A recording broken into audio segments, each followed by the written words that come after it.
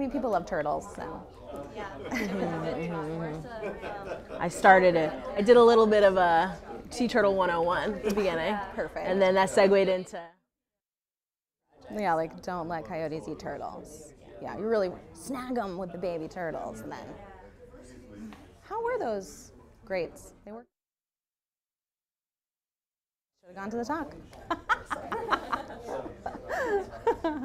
Yeah, they still use them. And, so, and I think Beth Dara, she, she's presenting Thursday, right? Yeah, yeah, yeah, yeah.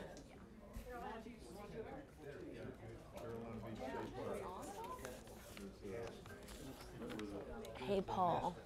I have a quick question for you. Sure. Um, there, there's no, nobody else here from the board, right? I don't know. I don't think I don't. so. I didn't see anybody, but I also know that there have been new members, and I just wanted to make sure that I don't not mention anyone. Nope. That's okay.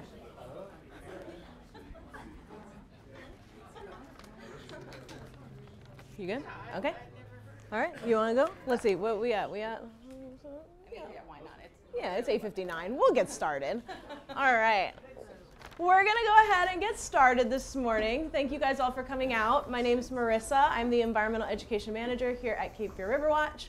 Uh, and it is a beautiful morning to be talking about birds. So thank you all for joining.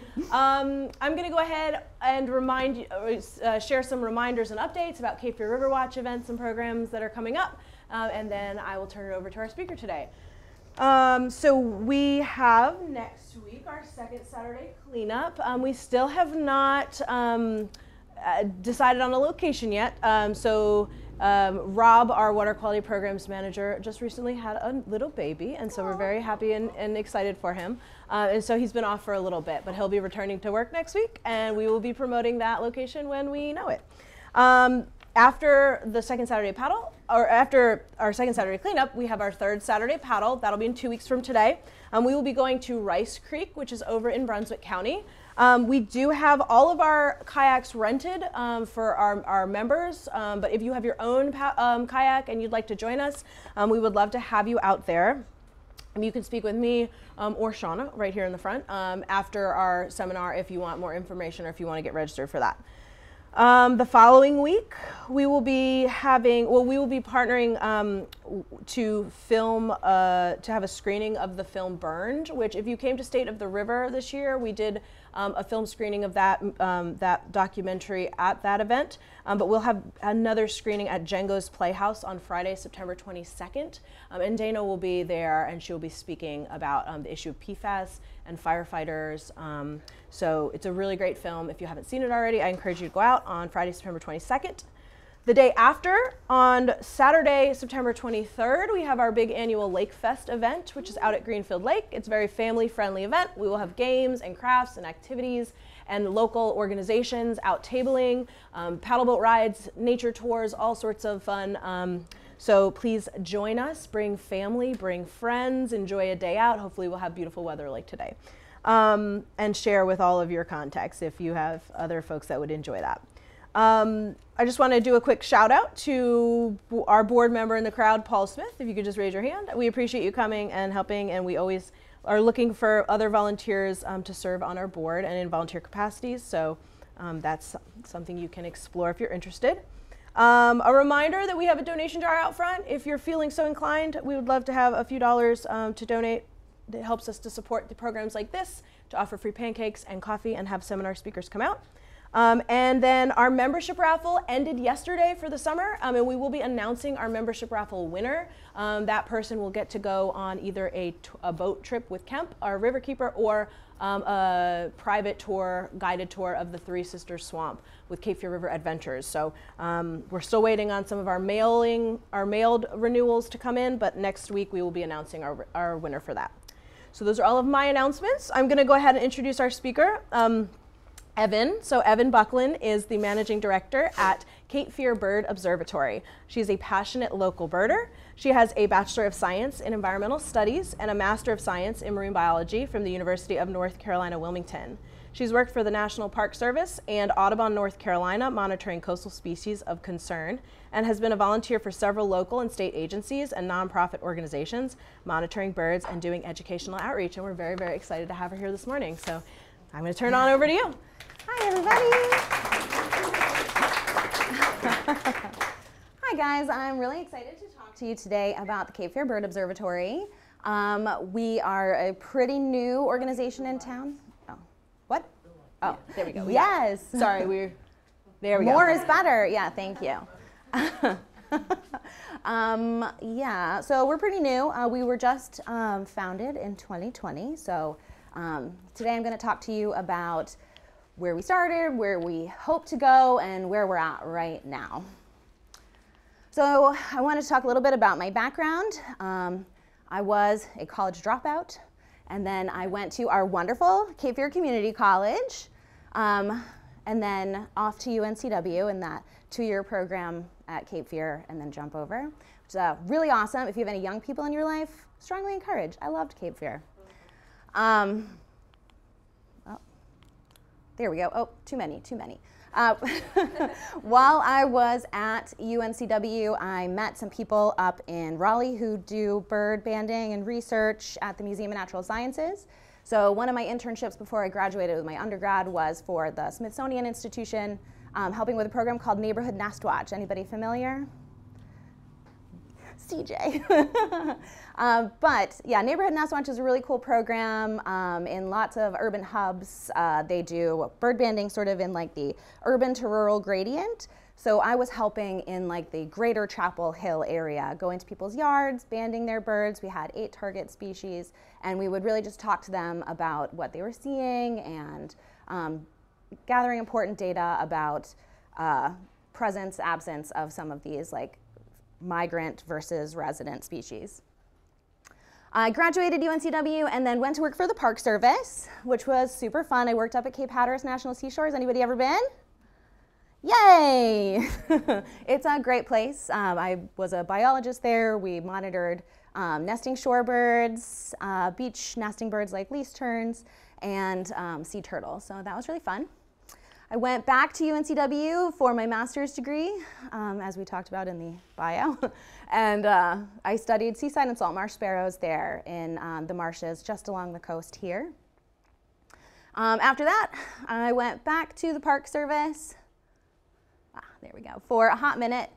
And then, um, sort of while I was still working there, um, we founded the Cape Fear Bird Observatory. Um, the first couple years that we were working, everybody that worked for the observatory was also like was just volunteering. We started as volunteers, so we were fitting it in our free time. And last summer, I was working for um, Audubon, North Carolina, here along the coast as well, which was a wonderful experience, but didn't make it onto my slide. So you guys might not know what a bird observatory is. Has anyone heard of a bird observatory before?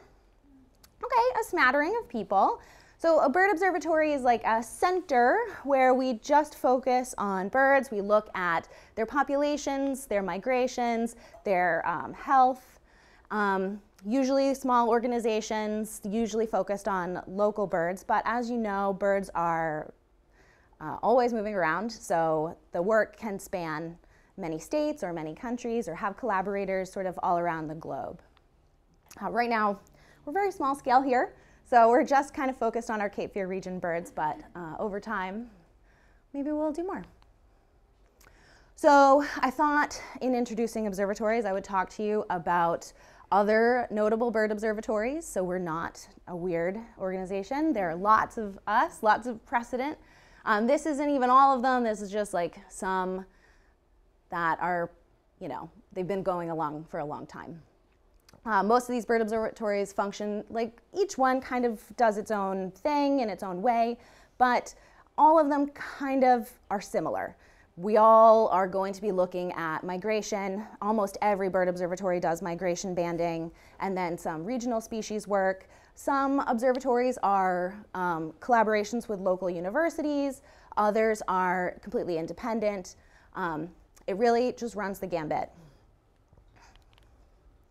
So um, all these bird observatories, uh, many of them have existed for decades and decades, all collecting data that all gets sent to like a central federal database. And through that enormous amount of data, really important discoveries have come up with observatories collaborating with each other or just researchers working with that huge data set. So I've got two prizes here, two observatory stickers. If anyone can identify, okay, so for the first one, who can identify this guy? Close, close. It is a warbler. That one's a really tricky one, so no big deal. um, anybody got this one right here? Where are birders at? No, just kidding. okay. CJ, I know you know. Well, you already got a sticker, so whatever. All right. Well, we'll we'll do more of a quiz later. But this guy here is a blackpoll warbler. Hard to tell because he's in his fall plumage, non-breeding. And then this one here, his name is right in his plumage. He's a black-throated blue warbler. This is the male. The female does not look like that. Um, so researchers were able to uh, look into some information about blackpoll warblers based off of 60 years worth of banding data across the country. They looked at over 15,000 um, blackpoll warblers and found really interesting things about their migration. Um, the population splits their migration, and the birds that go farther have a longer wing morphology. They also found that males and females migrate at different times. Um, all really super interesting stuff that you wouldn't really be able to do without the hard work of bird observatories. For black-throated blue warblers, they found that their um, migration phenology, so the timing of their migration, uh, drastically changed over decades. This was a 50-year study, or 50 years of data, and they found that males and females also migrated differently in that group. Super cool stuff. So our plans for the Cape Fear Bird Observatory, how do we see ourselves fitting into this map of amazing organizations doing amazing work? We've got some long-term goals. So we want to, of course, be working on some long-term data collection, just like our fellow observatories. We really want to see greater environmental awareness and engagement in the Cape Fear area. I know we're talking to a perfect audience for that because that's what all of you want too. Um, we are sort of standing on the shoulders of giants and doing that because we have a lot of environmental organizations in the Cape Fear region that are already working on that crusade. We want to see some greater diversity in the field of avian ecology in the Cape Fear region. Um, there are a lot of historically excluded groups from biology, the biological sciences, and so we'd like to do some work to um, help change that.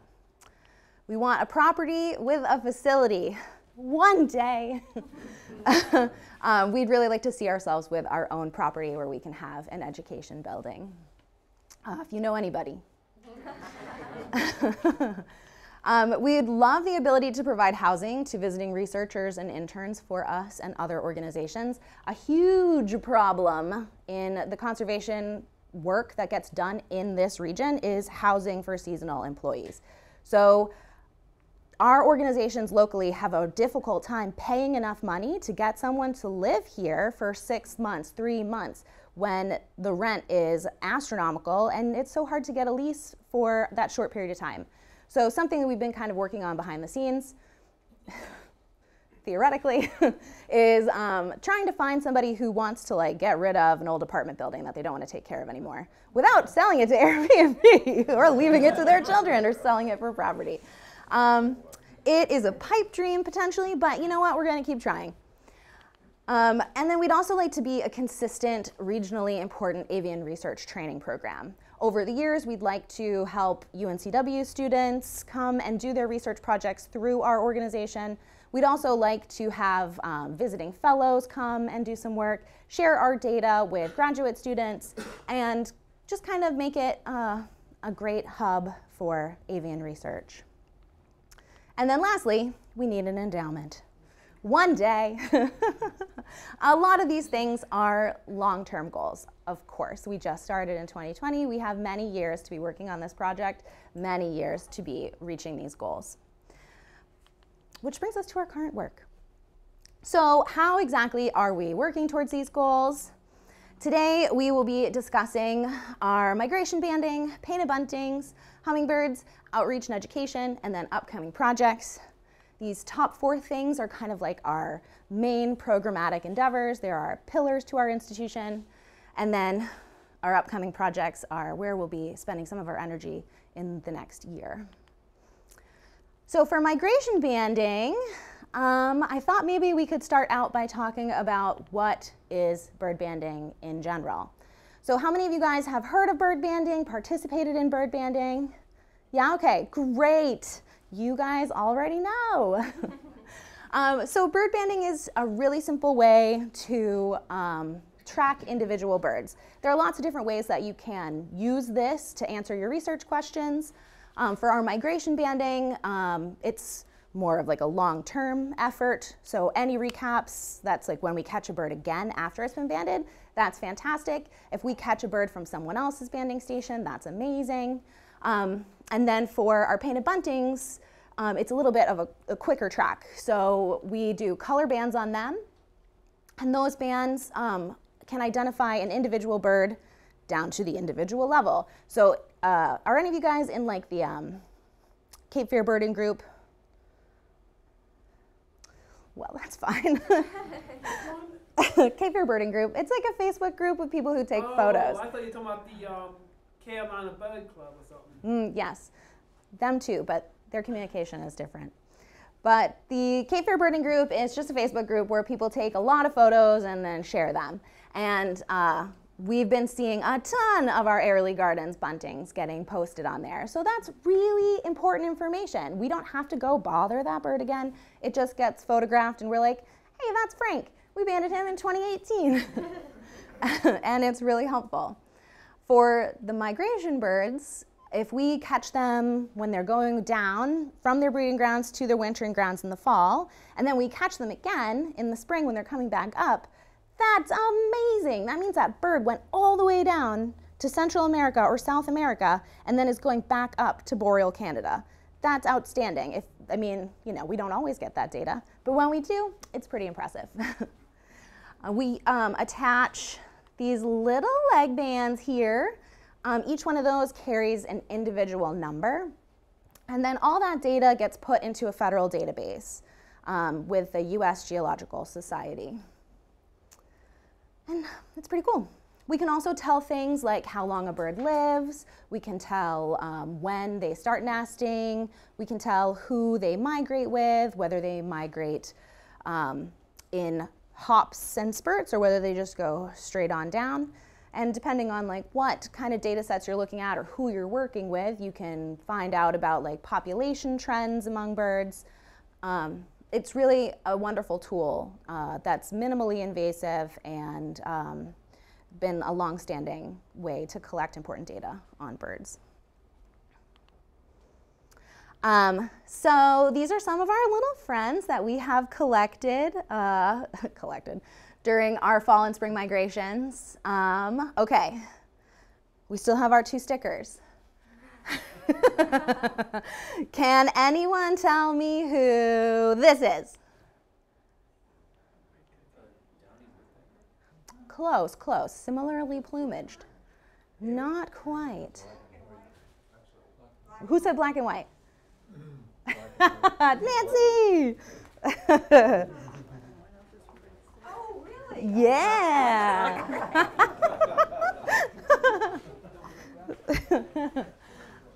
One of our prizes is out.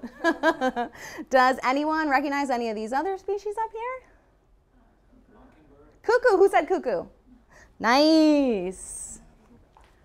Excellent work. Yellow-billed cuckoo right there.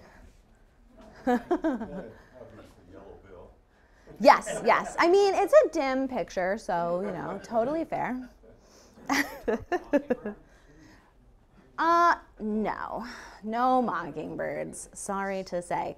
Um, so we have, I can see it better on here. We've got a wood thrush, we have um, a uh, blue-gray gnatcatcher, black and or black-throated blue warbler female, American redstart, swamp sparrow, gray-cheeked thrush, white-eyed vireo, yellow-billed cuckoo, black and white warbler, and uh, Louisiana water thrush. Yeah, and these are all birds that migrate different distances. They spend different amounts of time in North Carolina, and um, it's really interesting to see who comes through. This is our effort in collecting long-term data as part of our goals, and we live in an area that is poised to experience a lot of change in the coming decades. So we think this is, if it had been started before, it would have been great, but now seems like a great time to start doing this kind of data collection. We want to be able to monitor over time what kinds of trends we see in migration. Are there different species assemblages, different groups of kinds of birds that come through as we start to experience greater development? I mean, we can still put a lot of car washes in this town. And then we're definitely going to be experiencing uh, some climate change effects, some sea level rise, and how is that going to impact the birds that are migrating through here? That's something that we hope to see over time. Painted buntings, um, how I've spent my entire summer, so I'm going to talk about this one probably more than the others. Um, painted bunting demographics is really fun. Um, we've been doing painted buntings since before we were an observatory. Um, our collaborators at the um, North Carolina Museum of Natural Sciences up in Raleigh, we're doing educational bird banding at Airlie Gardens and Carolina Beach State Park for many years. And then in 2021, we kind of took over the project from them, still working with them, but now we have this organization, so we have the opportunity to do a little bit more work. And so we're asking some deeper questions. Still doing the educational outreach through this, but also like looking into um, occupancy, so where the birds are, and in the future, we hope to be looking at um, some other things about them. Painted buntings are a species of concern in North Carolina. Their greatest threats are from climate change, human development, invasive species, habitat modifications, and um, climate change effects.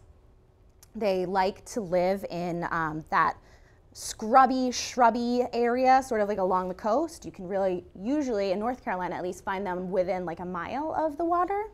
But in South Carolina, they go in a lot deeper. So that's something we're kind of curious about. Um, we also want to look at their nest success. There's not really a lot of data about um, painted bunting nest success or fledgling success. So once the birds leave the nest, what happens? Are they like wildly successful? Do they fail all the time? Is everyone eaten by snakes? We don't know. And so we want to find out. We're also really curious about um, painted buntings over the winter. You can see this sort of blown out but zoomed in area of the map. We're really only supposed to have buntings during the summertime when they're breeding. Um, but take that with a grain of salt. Most range maps of species are very far outdated. Um, painted buntings is no exception. So we have lots of wintering buntings. We have buntings that stay here every winter, and the number of those is growing every year. So that's something we're also interested in. This past year, we uh, banded some painted buntings that wintered in Carteret County and then also down here in New Hanover County. And we're just putting feelers out trying to find more buntings that are staying here over the winter so we can kind of look into that. In 2022, um, we increased our number of um, sites from just Airlie Gardens and Carolina Beach State Park to um, some people's yards. Uh, we were down at Bald Head Island and we were up in Porter's Neck in addition to those other sites. We helped researchers from Georgia put on Motus tags for 12 painted buntings from Porter's Neck down to um, Bald Head Island. And uh, we also did some public education demos through that year. And then this past year, 2023, we increased our sites again. We actually had funding to pay people to work for us. So we were able to increase the sites that we went to um, considerably. We started working with the um, North Carolina National Estuarine Research Reserve, so the NERR. Um, whoop, whoop.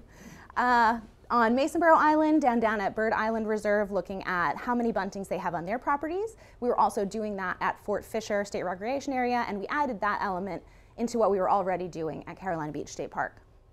So we're doing educational banding of these birds and then we're also trying to dig a little deeper into where they are. we're hoping that in the future we can leverage that to try to get some more funding from the state or from other organizations to start digging into that nesting phenology and nesting success that I talked about during the last slide.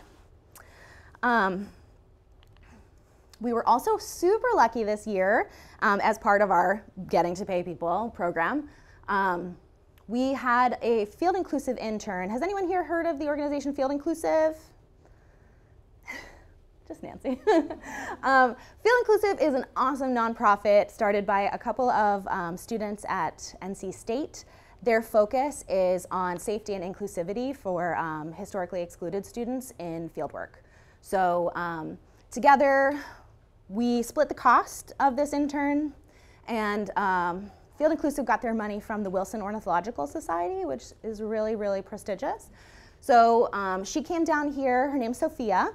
She is a Peruvian student who is just now entering her senior year at Wingate University. She wants to be a field biologist. So she got to come down here for the summer and work with us on our painting and bunting project. And um, she was awesome. She was so good. I was like, yeah, you're going to be a field biologist. It's great. Um, but we were really, really lucky to be able to provide her free housing, um, which is something that uh, really allowed her to come down here. We were paying her every month, so she was getting a salary, but that would have been entirely used up on rent, and then maybe some if we weren't able to provide her that housing. So um, she may not have been able to come otherwise. And uh, our housing resource is only going to be around for another year.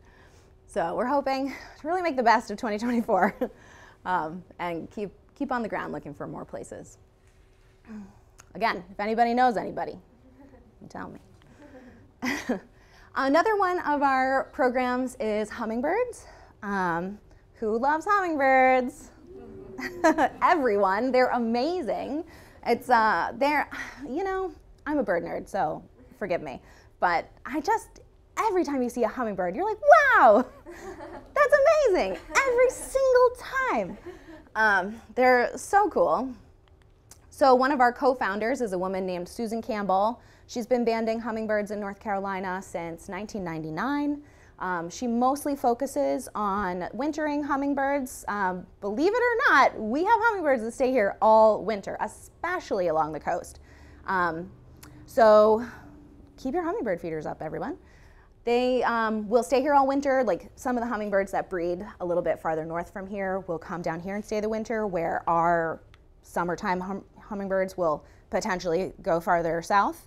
Um, something that we can verify through banding of hummingbirds. Um, they have super strong site fidelity. They're amazing. But uh, Susan's work, because she's working with such charismatic animals, um, she gets to do a lot of educational material um, programs, and uh, it works. It's really great. When I did this video, it might it might glitch out. Oh, it worked. Great. um, very fast, but it's just a little kid getting to release a hummingbird, which is such a memorable experience, you know? Like, that is like a child physically interacting with nature in a way that they maybe wouldn't be able to do without a program like that. Um, our last and probably most important um, pillar program is our outreach and education. Um, it's really fun and um, obviously like rewarding reaching out to the future New Hanover County residents. Um, we do um, an annual program. Right now it's every spring, but we would like to see it be spring and fall. Um, it's called Wilmington Youth Birding. We started it in 2020 and 2021 we were at Maides Park working with after school students. And if you can throw your minds back to the forbidden era of 2020 and 2021, it was challenging to get people anywhere um, regularly. Um, and Maides Park was awesome. We left some of our binoculars there permanently for them to use with their students. Um, we have about 30 pairs of binoculars that we use for this program that we got from um, Marine Quest. They wrote a grant and gave us those binoculars. So that is an amazing resource that we use for all kinds of programs, but especially Wilmington Youth Birding. Um, we have since 2022, so 2022 and 2023, been at um, DC Virgo. Do you guys know DC Virgo? Awesome school. Um, it's an all year school, so they don't have like a super long summer break like a regular school. Um, they have like three weeks off here and there. That doesn't matter. DC Virgo does this really cool thing where they have um, enrichments. So that is where like members of the community, community groups are invited to create a program and come to DC Virgo every Friday from uh, essentially like 1 to 2.15 and um, work with the same group of students every week.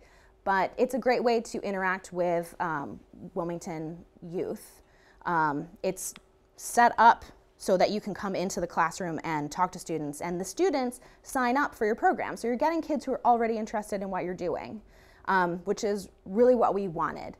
Um, it also lets you have, um, they share a staff person with you. So there's someone there who like knows the kids off gates, day one. They can be like, hey, you pay attention. And the kids listen to them, which, you know, when you're meeting students for the first time can be a challenge. Has anyone here worked with youth? I guess do the um, Audubon version of that. yeah, yeah. That's a lot of work. it's a lot of work. Um, but it's really fun. You know, you go into those events and you're just like, all right, I'm ready. And then you leave and you're on top of the world. It feels so good. Everyone has a great time. These kids know so much already about the environment. It's, it's really impressive. Um, so the last two years we worked with educators at Airlie Gardens um, to provide this programming and that's been really helpful for us and it's a really great program. We also um, do a monthly uh, nature walk. It's a family focused nature walk, but I mean, you can be a family of one. There's no problem with that. Um, the first couple months of this, we got to work with Cape Fear River Watch, uh, which was really awesome. And happy to say that it has grown a bit since then. We had like a couple of families at first, and now we generally have three or four, maybe more. It's really great. CJ helps out with that too. So if any of you are interested in coming or volunteering, talk to me after. Uh, we're also getting ready to do a field gear donation drive. Um, when I started working in this field, I found that a lot of like the gear that you need that's not provided to you from work is like prohibitively expensive. You're like, oh yeah, I'll just get some hiking boots for $200. And um, if you are like a freshly graduated student who does not come from a position of privilege, or even if you do, but your parents don't want to spend $200 on hiking boots for you, that's a problem. Um, some of these things are required of jobs, or they're really just like a safety essential. So um, we'll be working with the students of the Seahawk um, Wildlife Society. Shauna used to be one of them. And um, we'll be uh, doing a drive this fall so that students can pick up gear as they choose, hopefully during exam week, so they can kind of decompress and look for hiking pants that are lightly used or whatever. So as we sort of finalize some of the details on that, um, we'll be communicating more about it with the public. Um, but back to our nature walks. um, they're super duper fun. And we would love it if you guys came and joined us. They are every third Saturday at Greenfield Lake uh, from 9 to 10 a.m. Um, it's not always birds. Oh, yes. How cute is this?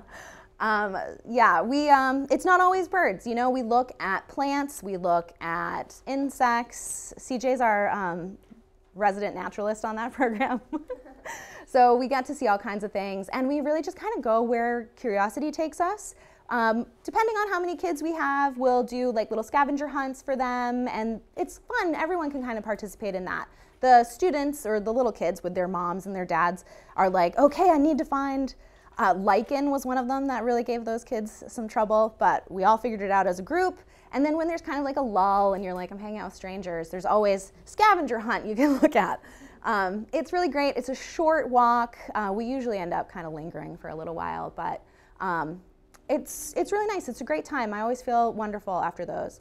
The next one is uh, September 16th. I won't be there, but everyone else will be. um, and I really hope that you guys can join us. So now I'm going to talk about our upcoming projects. Um, okay, we're good. Um, we have some really big news. We did successfully apply for a grant to work with NOAA and the um, National Estuarine Reserve System, so nationwide. Um, there are 30 reserves uh, in the country. So we'll be working with the system to build four Motus towers. That's what these things are right here. um, in different states, we'll be going to Alaska, Mississippi, um, Rhode Island, and New Jersey to build these towers. We'll also be working within the whole system to um, build educational materials for these towers.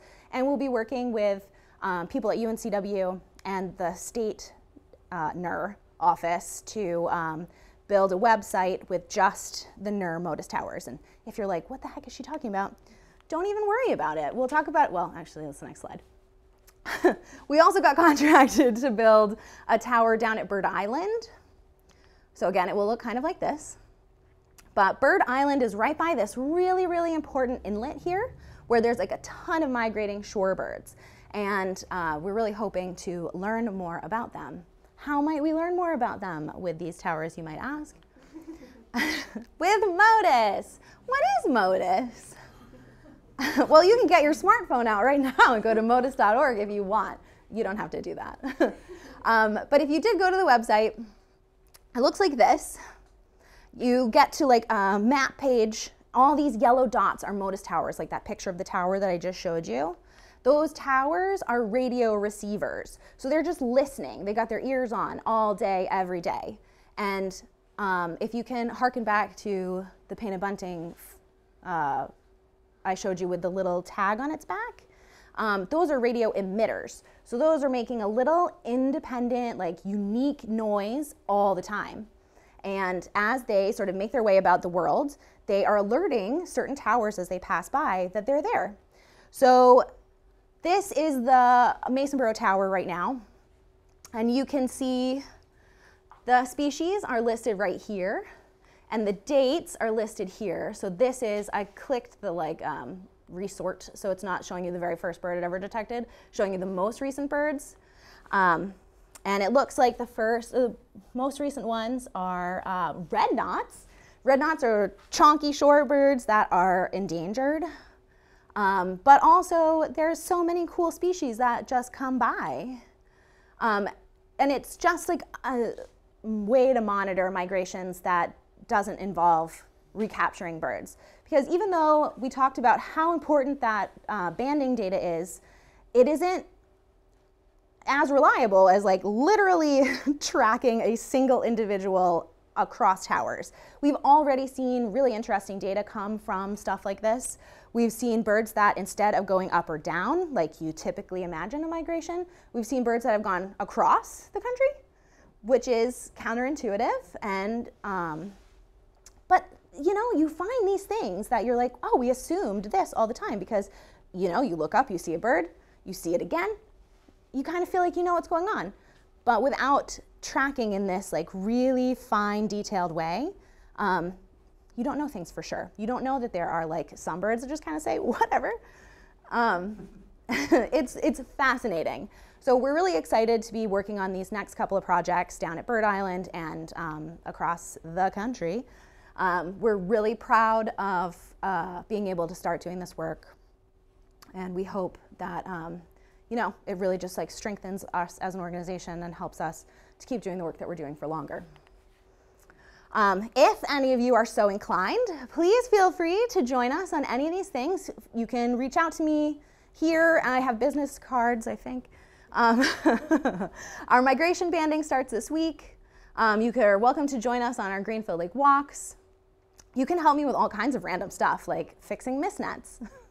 That's a tedious project that is also like mind freeing. I don't know, it's like crochet. Um, or you can sign up for a quarterly newsletter. We just started doing these. The first one will probably come out in the next couple of days. So um, if you want to get that, let me know. And you can visit us at capefearbirdobservatory.org. We're also on Facebook and Instagram if you want to stay up to date faster. Who has questions? Yes? Where are you located? Um, we are located everywhere because we don't have a facility. Yeah. But where do you, you just, how do you meet? Um, well, we meet in Zoom most of the time. Oh, we meet in person, like if we're working together.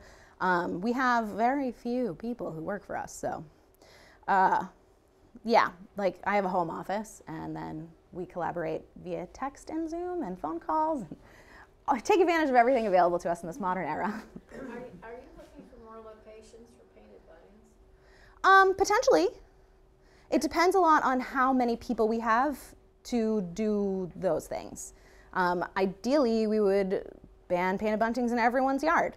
Um, but each one of those, you know, takes hours and planning and, you know, uh, do you have a lot of painted buntings? We had five last night. Oh, that's great. um, yeah, reach out to me. I'll give you my email, and then um, we can talk about, uh, you know, what you have going on. Did you have a question? Yeah, I was just curious. You said that you had funding for binoculars. Mm-hmm. And I was wondering what they were. Oh, okay. So Recommended brand and, and field of vision. we got when we got these binoculars, we were really trying to balance um, quality and quantity. So uh, Marine Quest, uh, it was like kind of at the end of the fiscal year, and they were like ready to give us money.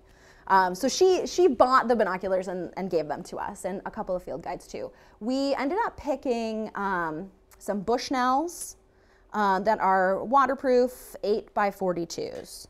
Um, I don't know that I, I think I might have a pair in my truck I can show you if you want. They don't have like a, a name, you know, it's not like the Bushnell Tiger or anything like that. Um, but they work really well. They're durable. They have kind of like a coating.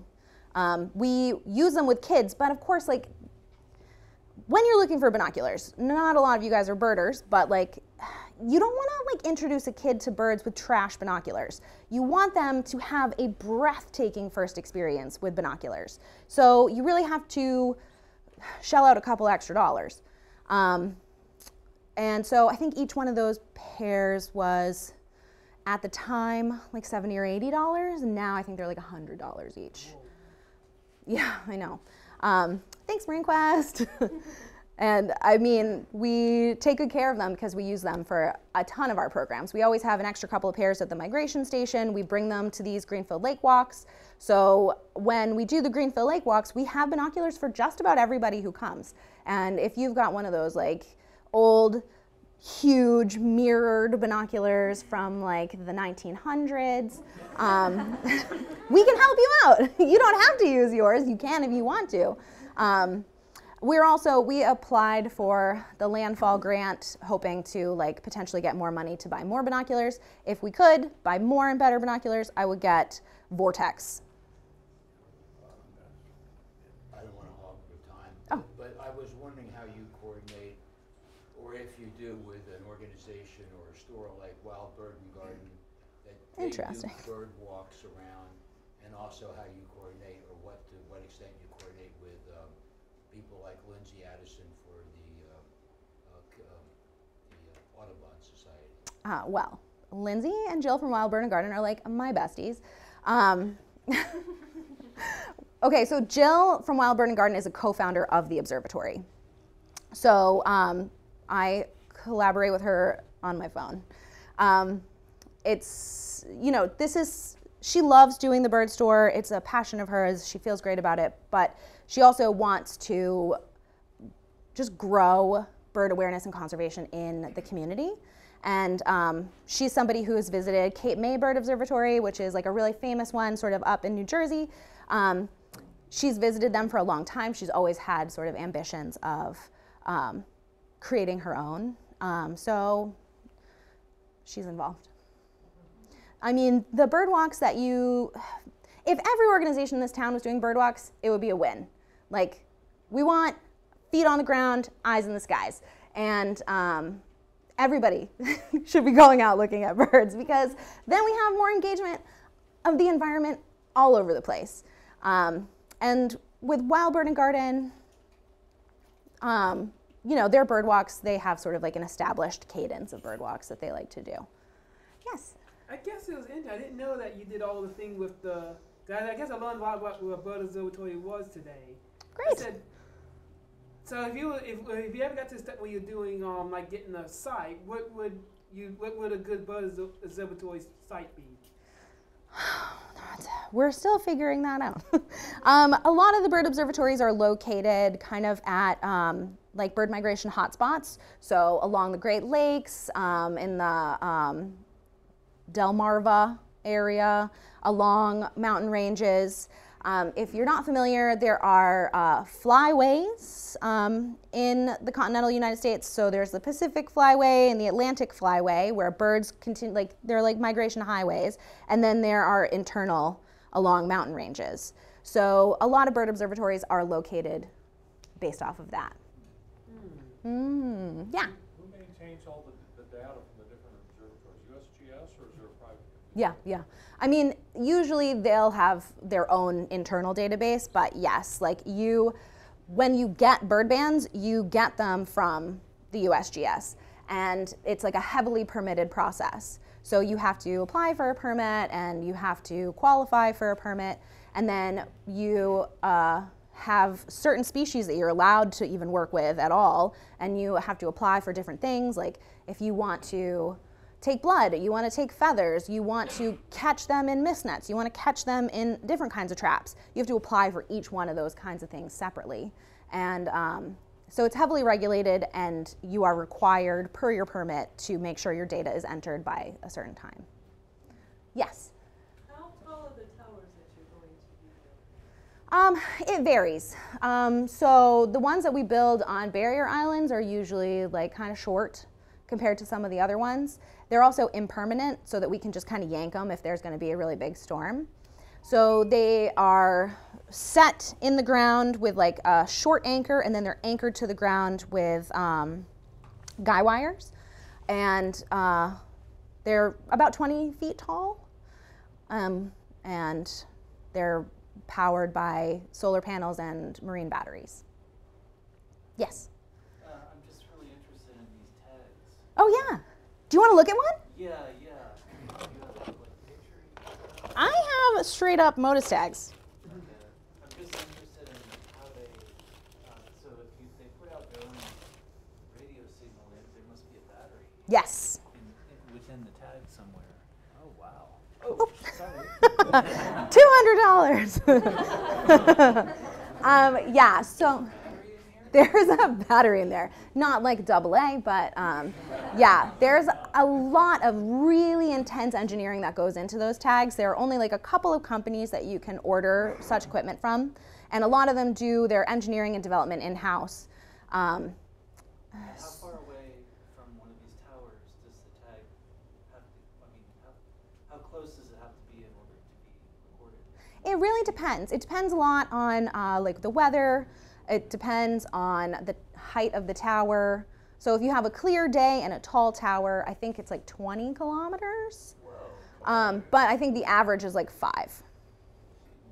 Five kilometers. Yeah. Yeah, it's still pretty good. So we've done like different work, like myself personally as a biologist, not necessarily always with the observatory, with different kinds of tags. And um, depending on the bird's behavior, you can have like different results in your tags. So um, I studied seaside and salt marsh sparrows who famously like like to hang out on the ground of the marsh. Um, salt water not great for tags, uh, but we we got some good ones. And the closer they hang out in the ground, the harder they are to pick up by some of those things. So you really only catch them like if they come up and then fly a long way uh, for migration, essentially. Uh, same thing is true for painted buntings. Um, I tagged, I put a Motus tag on one painted bunting on Masonboro Island, um, and we didn't detect her for like the rest of the time she was like hanging out in her habitat until she was ready to migrate, and then she just went floop and right on down the coast, and she was detected by like five different towers. Um, but still really cool. Yeah. Uh, do you have some sort of program that trains people to, to do this banding? Um, yes and no. Um, right now, we kind of train as like an ad hoc, uh, like we need you to help and you want to learn, and so we can slowly like train you to do that. Ideally, in the future, when we have um, a more robust staff, we would like to be able to offer uh, like consistent trainings. Yeah. So how many people do you have locally that can? Um, we have a couple. We've got five or six people locally who already know how to do this. Um, some of them are like resource professionals, uh, like John Carpenter. I think you guys had him come talk about the Atlas. Um, he does a lot of bird banding, um, and he has had some seasonal technicians over the years who have been living here who've helped. Um, and uh, yeah, there's a couple of other people who have done bird banding for like their education or just as a job who come and volunteer for us. Third question. Would it be beneficial to have more people trained? Do you want to do this? Well, I'm curious, yeah. I mean, I like to work with gators. you like to work with gators. Uh, did you say gators? Engineering, so. Oh, oh. Oh, gadgets. But Ah. that doesn't, that doesn't mean I'm gonna re-engineer. Um, well, we're not really in the tag developing business. Um, but if you like to work with very small things and you're interested in learning about how to band birds, um, Yeah, I mean, I know they're quite delicate. yes, yes. Yeah, you really just don't want to smash them. You just, just a, a just a light touch. oh, uh, Are there other local organizations that are also doing banding? um, Work with? Organizations, no, not necessarily. Um, Audubon, North Carolina does um, banding, but they are mostly focused on shorebirds and um, like beach birds. Like they band um, pelicans, uh, black skimmers, and um, royal and sandwich terns. Um, and then there's Ray Danner at UNCW, who's an ornithology professor. Um, his students will occasionally be working on um, projects where they will be banding some birds.